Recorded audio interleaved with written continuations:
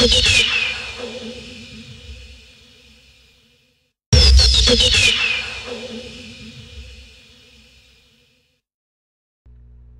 those of you who have been living under a rock or don't give a shit, let me sum this mess up. A brony made a commentary on one of this guy's over 8,000 videos, which caused a furry to make a commentary on that video, which caused a brony who sounds like a drunken Garfield to make one, which caused ZM Anonymous and some Hispanic guy to make one, which caused TOG Professor, Mr. Sir Raven, and Deaf Critic to make one on the latter, which caused CM Anonymous to make a commentary on Deaf Critic for making a shitty commentary on the Hispanic guy's commentary, on a commentary, on a commentary on some guy complaining about nothing. Why are we responding to one another over the same damn video made by a brony? This is not a bandwagon. This is a commentator caucus race.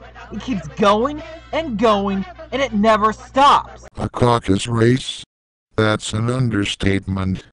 If you're asking me, it is more like a bar fight crossed with a turkey shoot than any caucus race I've ever heard of in my life.